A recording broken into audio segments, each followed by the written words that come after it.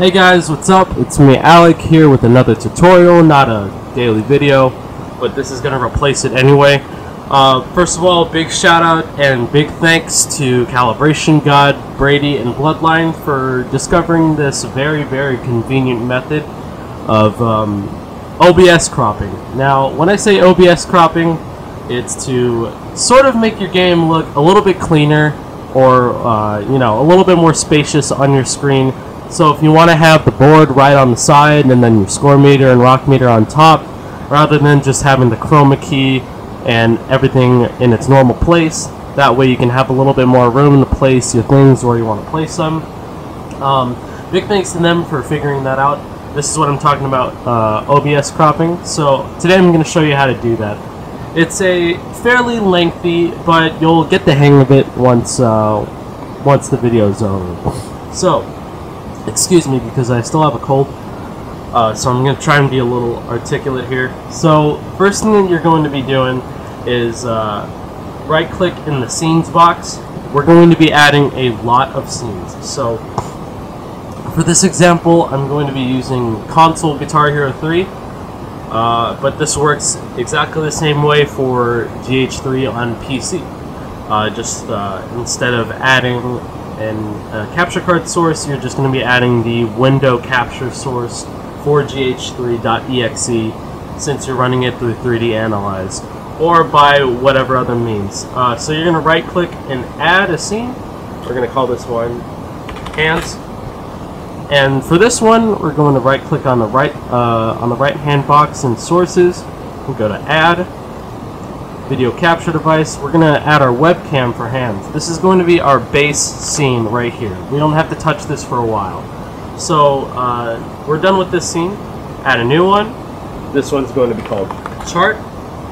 And in this source, we're going to be adding the window for Guitar Hero 3. Or, you know, uh, your capture card.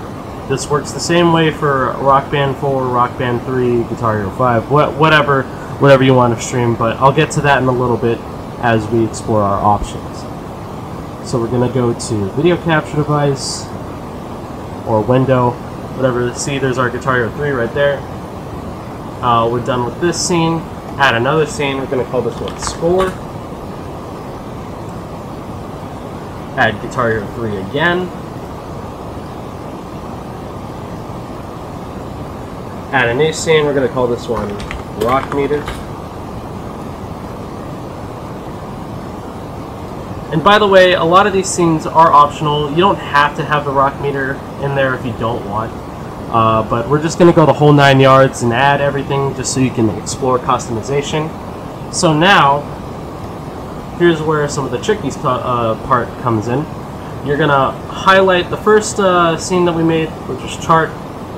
Right click on the scene, not the source. Right click on the scene. And we're going to right click on the uh, scene and add filter and then in the effect filters box, we're going to right click on an empty spot and hover over add.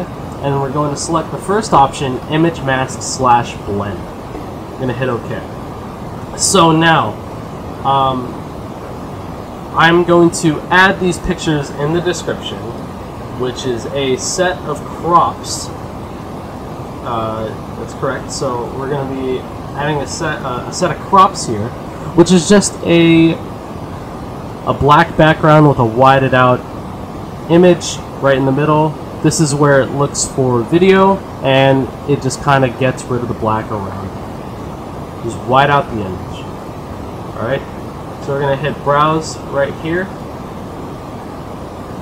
Go find our crop. And since this is chart, we go with this one. See, there we go, there's the cutout. Gonna hit close and so now we select the score, score scene, right click that one, add a filter, effect filters, image mask slash blend. Since this is the score, click the score picture.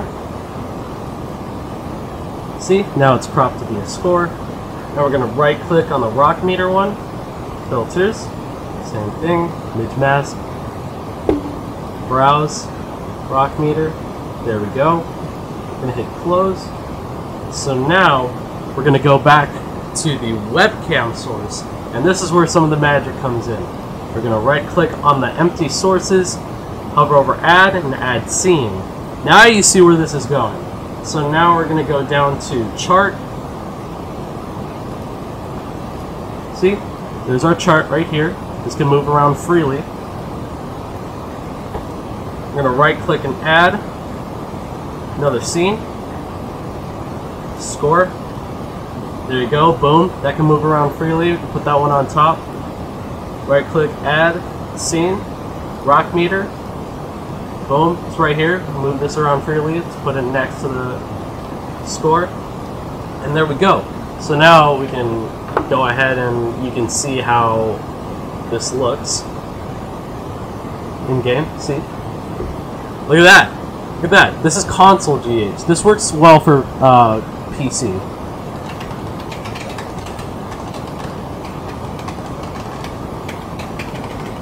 So that's pretty much it for that. And if you want to resize it, go ahead. By all means, you can resize it however you want.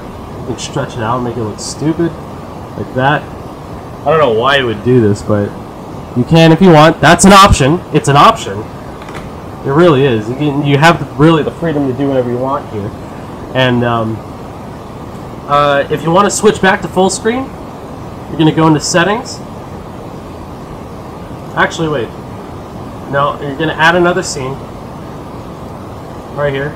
And then you can just add the standard capture of your screen. So uh, either window capture or your capture card, whatnot.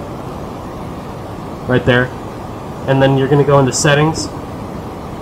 Go to hotkeys. Go ahead and set it to whatever you want. Set uh, set whatever your hotkey what you want. So where's the scene?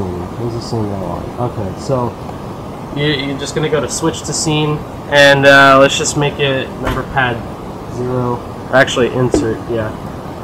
Apply. So then your base, you can go to your base uh, scene again.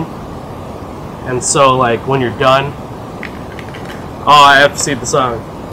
Hit it on your uh, your number pad or your hotkey, and it'll go back to full screen. No big deal. Uh, yeah, and if you want to set a hotkey to go back to the hand screen, by all means, you can do that too. But yeah, that's pretty much it. Um, yeah, again, big, huge thanks to Calibration God, Bloodline, figuring this out making our lives a whole lot easier. Um, but hope you guys enjoyed this tutorial. Um, if there's any questions, leave it in the comments down below. Uh, and I'll see you guys next time.